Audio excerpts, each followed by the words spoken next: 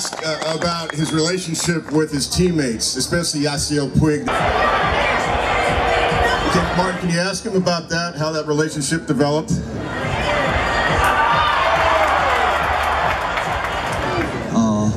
별로 안 친하고요. I actually don't like him very much.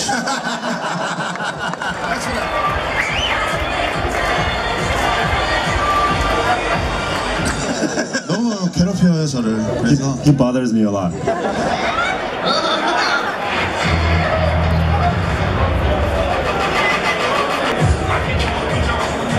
How do you guys uh, communicate? Like, uh, how, is there a universal language between you and Puig? 어 둘이 몸짓으로 그냥 대하는 것 같아요. 어, 말 안 통하지만 It's all physical abuse. 힘듭니다. No, but that's why he's a close friend.